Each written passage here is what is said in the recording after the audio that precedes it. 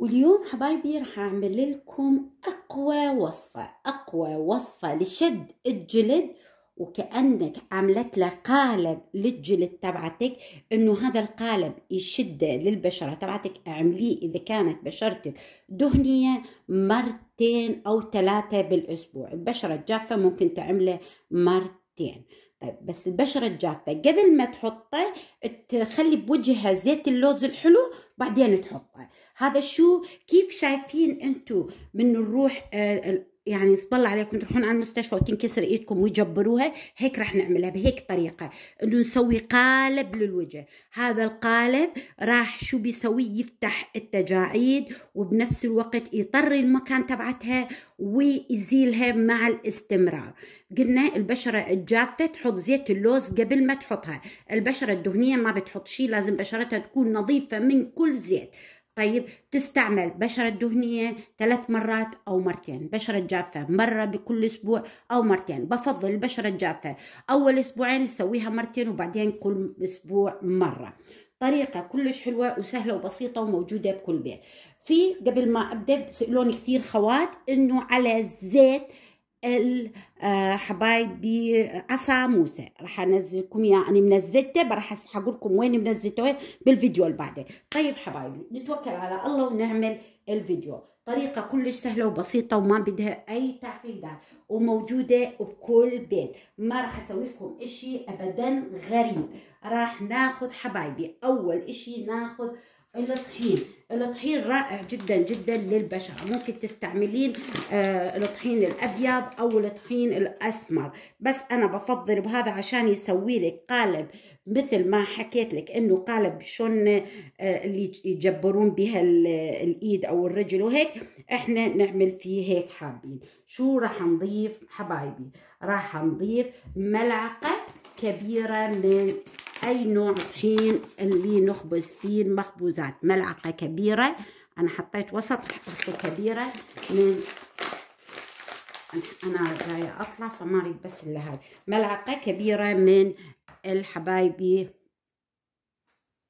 الطحين وراح نضيف عليه حبايبي ملعقة كبيرة من اللبن. ونخلط اللبن مع الطحين. هاي الطريقة أبدا لا تستهونون فيها. إذا شفتوا آه أنه بعد هيك جامد ارجعوا ضيفوا اللبن. اللبن لازم شوية يكون مو مرق ولا جامد.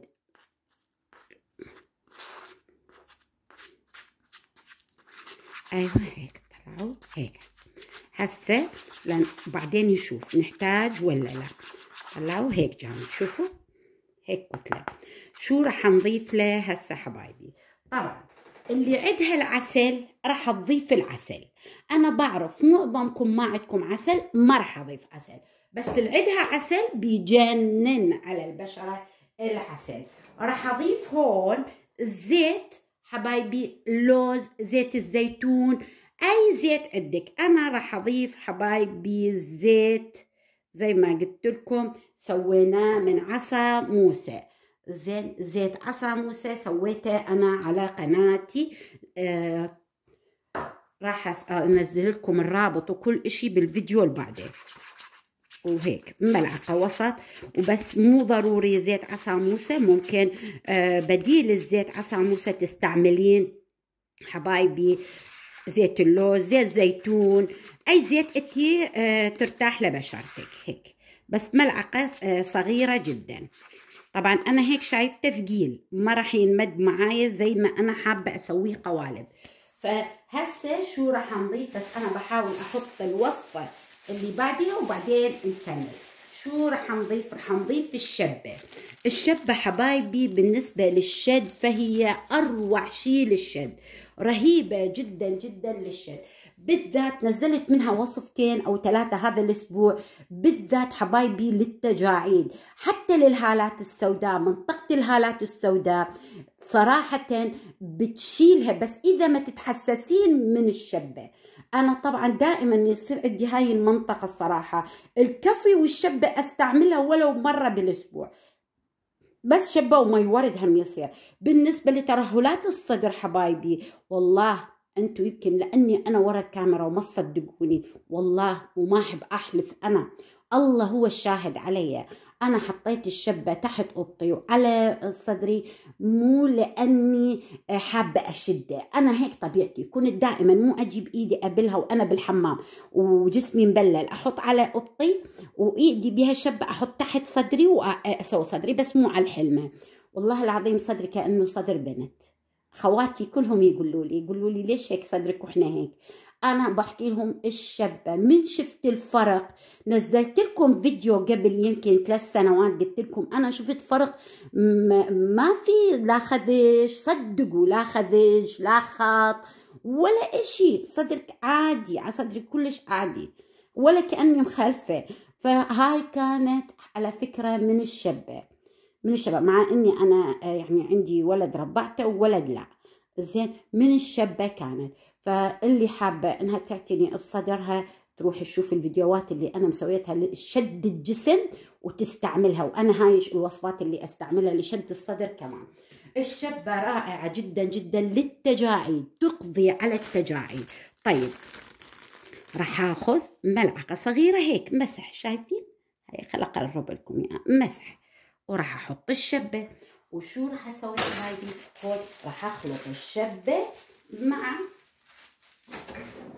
الطحين وأحاول. أنا ليش خليت الشبة آخر شيء لأن الشبة آه هيك بتخليه شوية يطرى أكثر.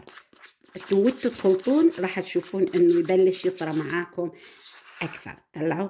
قلنا اللي عندها عسل ممكن تضيف عسل الزيت. مش إجباري إنه لازم الزيت الهاي. لا لا مو إجباري.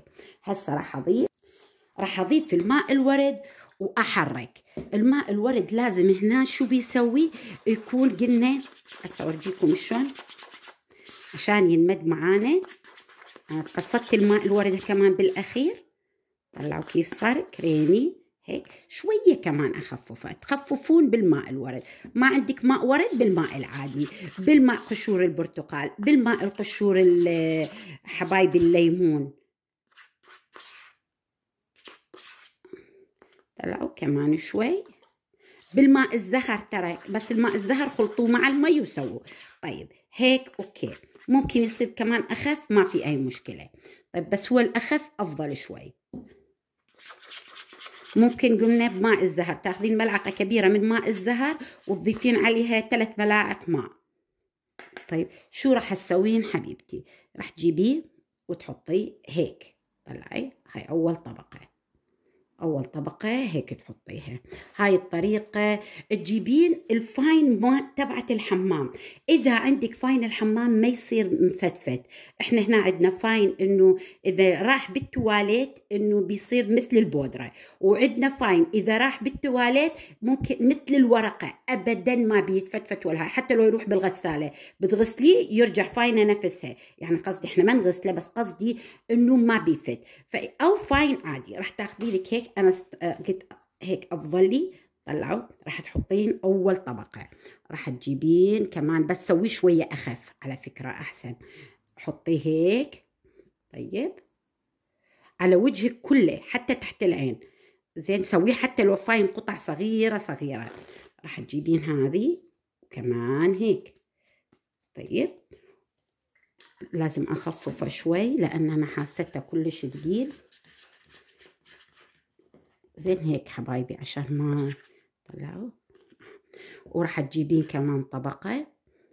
ثلاث طبقات سويها عشان إنه يصير معاكي.